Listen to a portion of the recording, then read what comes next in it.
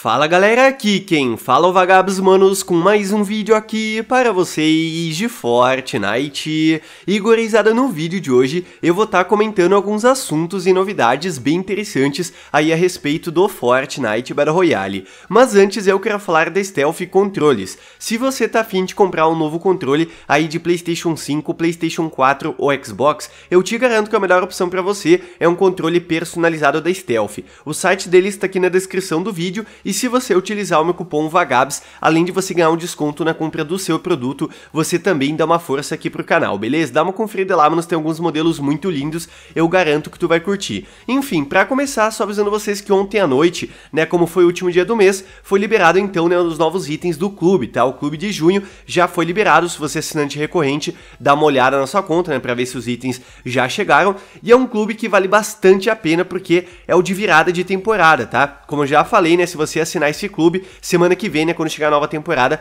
você já vai estar recebendo o passe de batalha na sua conta. Então, mesmo que você não gostou assim dos itens, vale a pena você reconsiderar, tá ligado? Porque de fato tem vários bônus aí, além do próximo passe, né, tem direito aos V-Bucks também, como de costume, e ao Rocket Pass, né, caso você jogue Rocket League. Então, né, só tá aí o aviso do clube que já chegou. Outra coisa que eu quero compartilhar aqui, manos, é que a Epic Games foi hackeada. Exatamente. Nenhuma empresa gigantesca escapa desses malditos hackers. O Twitter oficial do Fortnite competitivo foi hackeado hoje à tarde, manos. Eles postaram simplesmente do nada, né, uma parada falando sobre criptomoeda, certo? Tipo, dando, colocando um link, né, pra galera ir comprar e tudo mais, né? Obviamente que tá ali tapado, porque não é pra ficar divulgando esse tipo de coisa. Eu espero, né, que ninguém tenha clicado, porque, né, tipo, foi, eles foram burro, tá ligado? Esses hackers. Eu nem sei se é bot que faz isso ou o quê, mas, tipo, publicar esse tipo de coisa no Twitter do Fortnite competitivo, ninguém é tolo de cair num bait desse, né? Todo mundo quando viu já se ligou que a conta tinha sido hackeada, tanto é que em dois minutos, como dá pra ver ali embaixo, 111 retweetada, tipo, a galera viu, né, logo de cara que foi hackeado e achou engraçado, né? E de fato, tipo, logo depois a conta já foi recuperada, tá? Ficou pouquíssimo tempo ali, digamos que nas mãos dos hackers.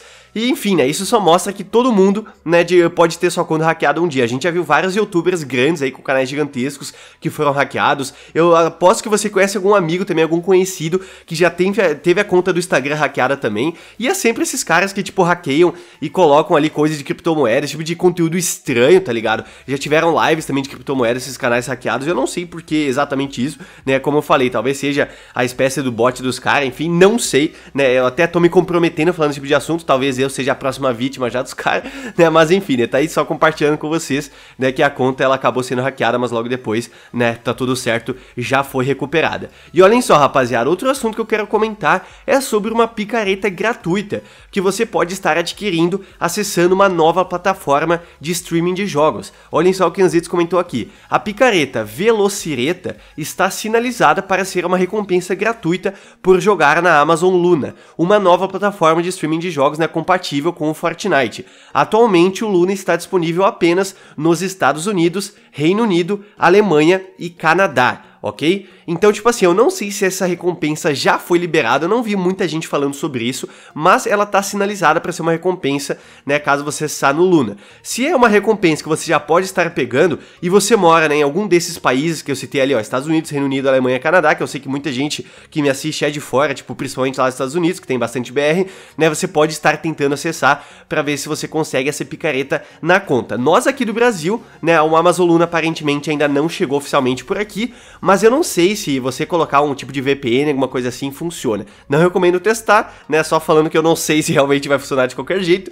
E outra coisa importante, né? Antes que você pergunte o como que funciona a Amazon Luna e tudo mais, é, é muito parecido com o GeForce Now, tá ligado? Afinal, é uma streaming de jogos também, né? Uma plataforma assim como a GeForce Now, então são bem parecidos, tá? Mas enfim, é só alertando essa nova recompensa por conta desse novo tipo de parceria, né? Vou dizer assim, no Fortnite, nessa nova plataforma. E, manos, vocês estão ligados que a Epic Games vai investir bastante no Criativo 2.0, né? Já foi dito por eles que esse é o futuro do jogo, né? Vão concentrar muitas coisas nisso aí. E o que acontece? Né? Foi liberado um novo tipo de pagamento, né? Já faz um, algumas semanas, com relação né, aos criadores que fazem mapas, né? Quanto mais tempo a galera joga nos mapas, aí os criadores né, ganham aí monetização neles, vou dizer assim. Mas olhem só que interessante, foi divulgado então aí aparentemente essa distribuição, né, o limite de pagamento, né, para os melhores criadores de mapas, né, que terão os mapas mais jogados ao longo do período de um ano. E olhem só que coisa interessante, manos. É um pagamento bem considerável. 2.167 criadores vão receber né, 100 dólares, né, um pouco mais de 100 dólares aí por ano. 1.216, mais de 1.000 dólares. 578 criadores, mais de 10 mil dólares, 220, mais de 100 mil dólares, 106, mais de 300 mil, 43, aqui já fica loucura, 43 criadores, né, o top 50 já basicamente do mundo, vai conseguir 1 milhão de dólares para mais no período de um ano, né, 13 criadores, 3 milhões para mais e 5 criadores, né, o top 5 aí de um ano, vão receber aproximadamente mais de 10 milhões de dólares. Rapaziada, Olhem só que coisa de louco. Eu tenho certeza que isso aqui é pra motivar a galera a ficar criando mapa, tá ligado? Eu não sei de onde a Epic Games tira tanto dinheiro. Mentira, eu sei, né? Porque a empresa vale muito, muito mais do que isso. Só que, tipo, eu já imaginava que eles iam fazer, né? Pagamentos pesados aí pra galera criando mapa. Só que isso aqui é mais do que eu imaginava. Eu acho que mais do que a galera que cria mapas também tá imaginando, tá ligado? Um investimento bem pesado mesmo. Eu acho que a Epic, né, tá tentando transformar Fortnite aí, digamos que num jogo também feito pela comunidade, né? De certa forma, né? Os mapas criados criados pela galera e tudo. Então tá aí, né? Caso você, tipo, tava se perguntando se valeria ou não a pena criar mapas pro jogo, a resposta é que sim, né? Vale muito a pena. Questão monetária, pelo menos, né? O pagamento é bem considerável, bem alto.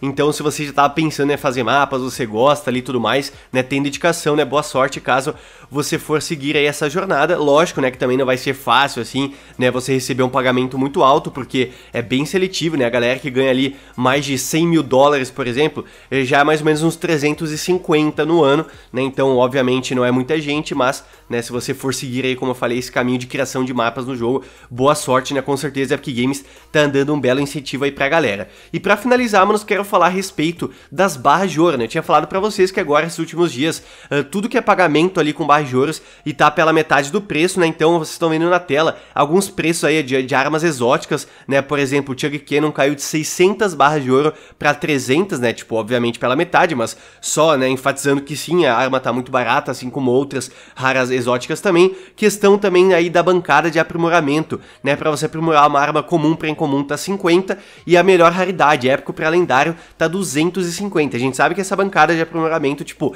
é uma máquina de rasgar a base de ouro, tá ligado? Mas agora tá valendo muito a pena você usar, né? Então, né, só aviso mais uma vez, caso né, você tenha muitas barras, não deixe de gastar, porque na próxima temporada elas vão zerar de qualquer maneira. Mas então é isso, galera. Espero que vocês tenham gostado aqui do vídeo. Se você gostou, manos, deixa o likezão aí porque não custa nada e me ajuda muito. E claro, né, mande aí pros seus amigos para todo mundo ficar ligado em mais assuntos e novidades bem interessantes do jogo. O Epic Games hoje à tarde, né, foi hackeado aí o Twitter, né, o cara já mandou, ainda que não foi aqueles hacker troll, tá ligado? Que hackeia começa a mandar mensagem zoeira, né, foi mais aquele tipo de hacker assim, russo, né, sei lá das qual é que é, né, que os caras compartilham essas coisas de Bitcoin, né, mas enfim, né, não deixou de ser engraçado de qualquer maneira. Então é isso, manos, aquele abraço, se vemos no próximo vídeo, valeu, falou, se eu fui.